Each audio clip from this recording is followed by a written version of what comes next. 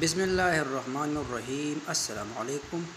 رسول اللہ صلی اللہ علیہ وسلم نے ارشاد فرمایا، جو شخص تکبر کی وجہ سے اپنا پاجامہ یا شلوار ٹخنیوں سے نیچے لٹکائے گا، تو قیامت کے دن اللہ تعالیٰ اس کی طرف رحمت کی نظر نہیں اٹھائے گا۔